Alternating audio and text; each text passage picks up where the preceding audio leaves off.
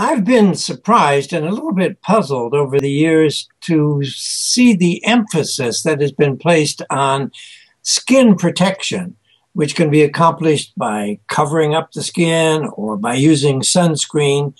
Now it's virtually impossible for mothers to take their babies out and get some sunshine uh, if they're not completely swaddled from head to foot or covered by sunscreen. I think that's a mistake.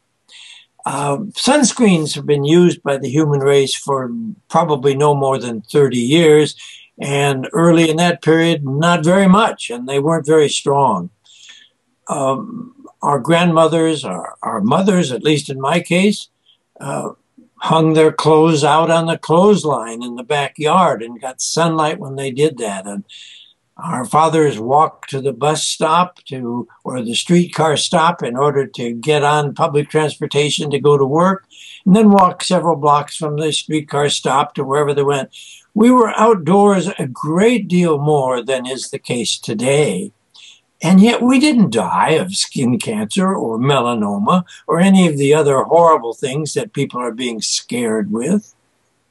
Um, I think it's important to understand all that although sunscreen can be a very helpful thing for us, uh, the sunscreen manufacturers have a vested interest in scaring us to death so that we'll use more of their product.